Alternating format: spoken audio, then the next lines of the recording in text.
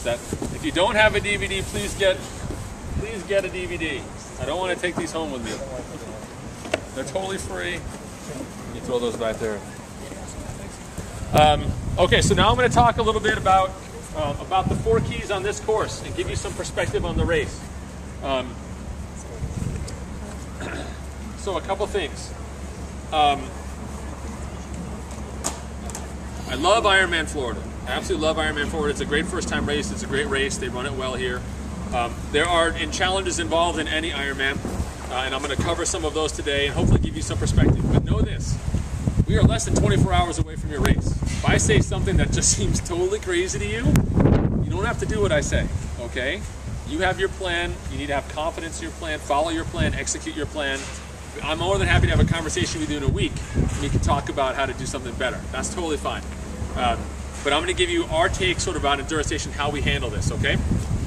So, for the swim, the big question is, where do I seed myself? Everyone's saying, where am I going to seed myself? I'm a good swimmer, a bad swimmer, a slow swimmer. I go to the left, I go to the right, you know, whatever, whatever your problem is, we all have those problems. Out here, it's, it's intimidating because you're going to have to walk across that timing mat um, and you're going to be standing on the beach with all these people. It's a huge crowd. Um, what I tell our athletes is look at what happens to the pros. Get yourself down there before 6:45 so you can see the pros go off, and see what happens to them when they start swimming. Okay? Right now you can see the waves and the way they're coming in. They're kind of coming in this direction. It's going to be pushing you into the buoys on the way out and away from the buoys on the way back.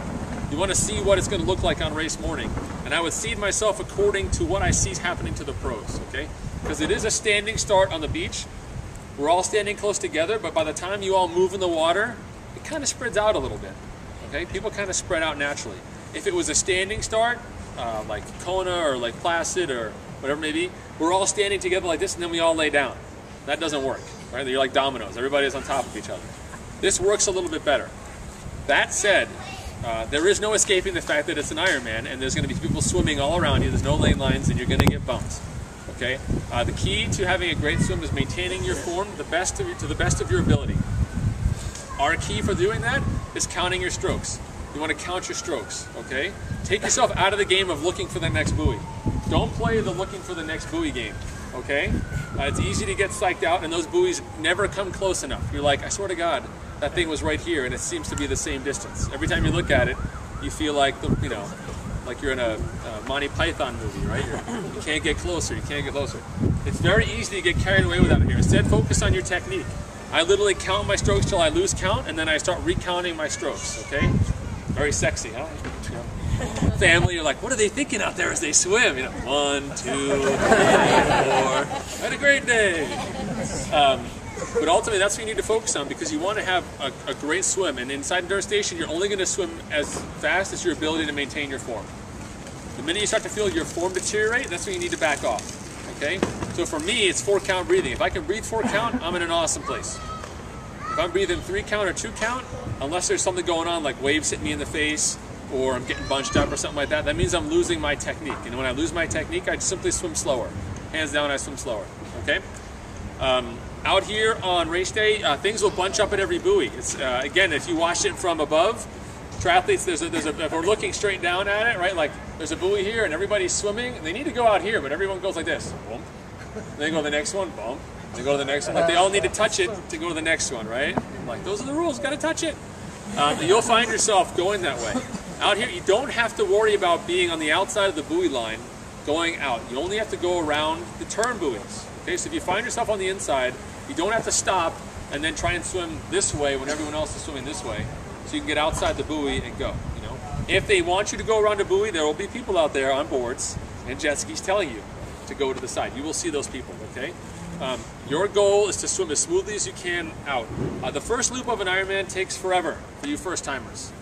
You're seemingly, the first leg out is forever. There's no way I'm to make this thing. Second loop is much faster than the first loop, okay?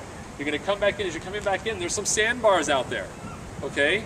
You, uh, I am pretty sure, I mean, at least the last four years running, and probably this year again as well, that about 500 or you know 1,000 feet out from the beach, you're going to be swimming, and then you're going to see people running next to you in their wetsuits, and then they're going to be swimming again.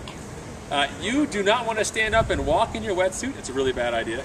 In water, more resistance, with the sun beating down on you, um, unless you absolutely have to. I would take strokes in like four inches of water if I could to keep floating. You are much more, it's you just zip along. Everyone else is walking, they're not going anywhere, okay? Avoid that temptation to stand unless you have to stand, okay? You're gonna swim all the way in. When you get to the beach, again, it's not a race at this point. We're not at mile 18. You jog up the beach, go around over the timing mat. They actually have cups of like water and perform for you, which you don't get at any other Ironman. Actually kind of a nice perk to get the salt water out of your mouth. You're back in again. On the second, if the first loop is a, is a square, you go out, over, and back in. The second loop, you actually have to kind of go diagonally. There'll be a random buoy over here that no one notices in the morning, but you have to go diagonally around this buoy, out here again, and then over, okay? Um, so if the wind is blowing the way it is today, you're going to be swimming directly into those waves on that diagonal trip. Directly into waves is not a problem. The problem is when you're you want to swim this way and the waves are coming this way, everyone's natural tendency is to turn this way. You want to turn into those waves. So you're going to find people being pushed this way, but they want to swim want to swim out that way. Okay. So be mindful of what happens to you on lap one. Try and improve upon that for lap two. It's your sole goal. Okay. You come out on. Uh, at the end of lap two, you cross the mat, you jog up the beach. There's some showers right there. You want them, you don't want them. You come jogging in here and you go into the hotel, you get your bag and you can change up. Um, transition. Uh, your goal in transition is to get all the stuff on you need to ride your bike.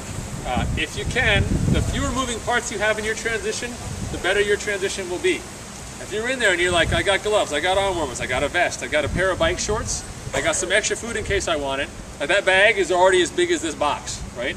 You're going to be like trying to dump out your bag and it's not going to come out. You're going to be like, what's wrong with my bag? Um, and when it comes out, it's just going to be like, like somebody barfed your gear closet. You're going to say, what do I do with all this stuff? What goes on first? What do I do? If you can minimize the stuff in your gear bag, the better off you are, okay? Um, if you're planning on changing clothes tomorrow, like swimming in one thing and biking in another, changing clothes, just know now that's going to be really, really hard to do. So just set some mental expectations around that and maybe even try and find a volunteer who can help you.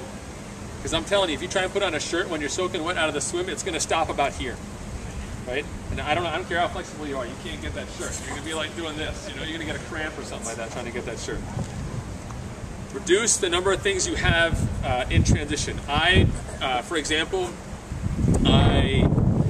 carry salt pills with me, you know, on the bike when I'm out there and so on. That goes in a canister, that goes in my back pocket under my wetsuit. Um, I wear a race belt that goes underneath my wetsuit when I'm swimming, okay?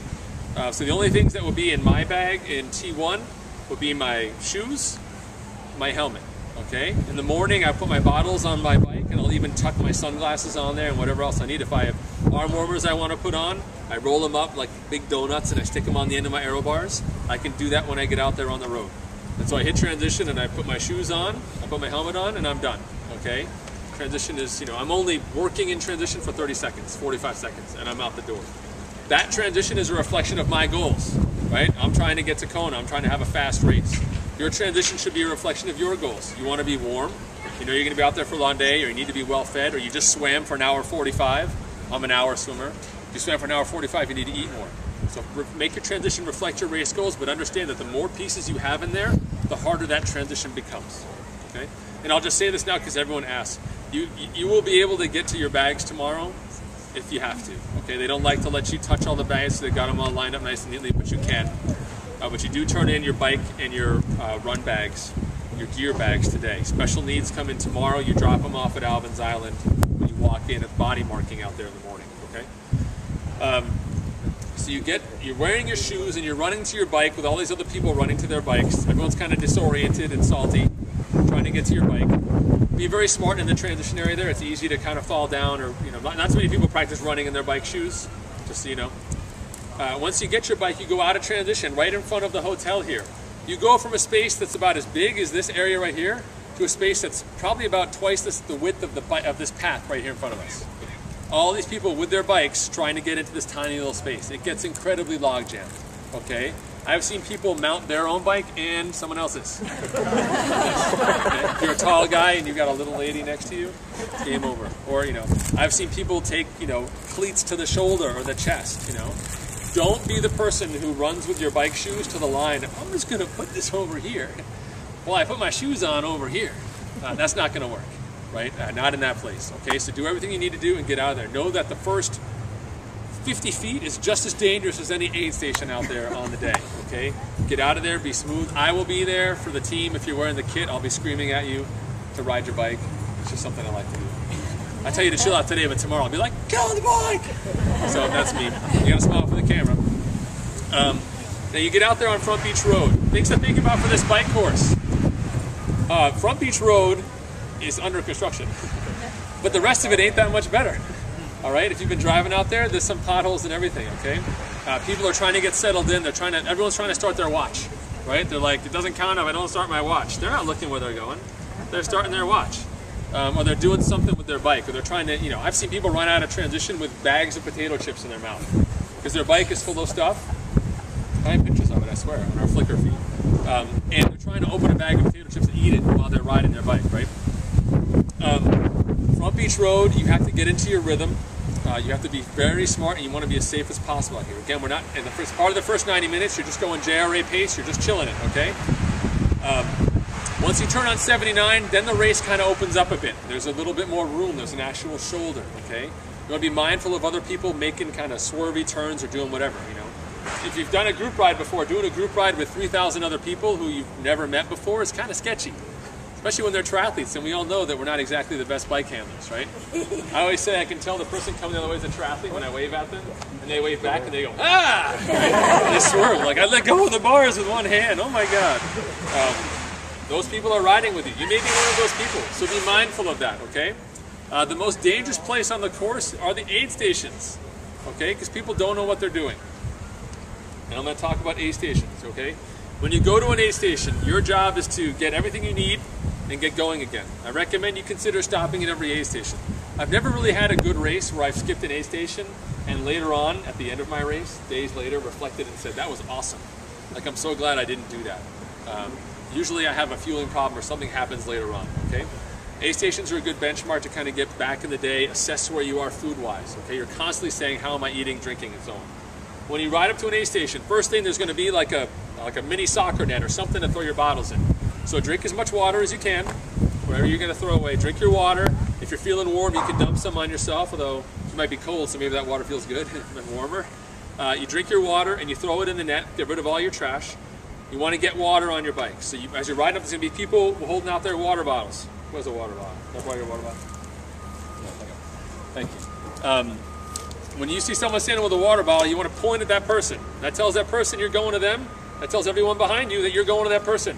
Okay, they can see that. If you're up there going like, here I come, I'm coming for the water. You know, you try to talk to your friend when she's like five feet in front of you, and you're like, I think she just said she loves Enrique Iglesias. right? I can't get that. It's not going to happen on race day either. So you point to that person you want the bottle, okay?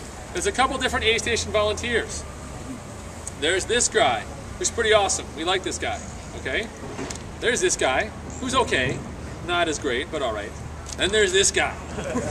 you don't like this guy, all right? This guy's trying to knock you off your bicycle, you know, or really screw you up. Um, whatever you do when you're catching a bottle, when that bottle's coming at you and you're going anything over 60 miles an hour, you have to absorb the impact of that bottle. Okay, you have to catch that bottle even though it's not moving because you're moving. It's like you're standing there and someone threw a bottle at you at 20 miles an hour. If I just like whip this at you, can you catch it? It's the same same thing, right? You need to catch that bottle. So the first bottle you get, you get it and you rack it. Okay, and now you're looking for your next bottle. Get your next bottle. You're going to drink that bottle as much as you can, pour it on yourself, whatever else you want to do, and then you're going to throw that bottle before you leave. So you enter that aid station having drunk a lot of water, taken it in, gotten rid of your trash, gotten a new bottle, and exited drinking a little more water, cooling yourself off, whatever you need to do, and getting rid of that bottle. So you are fully tanked up at the end of that at that aid station. Okay? I'll say it now. If, if you do not pee on this bike,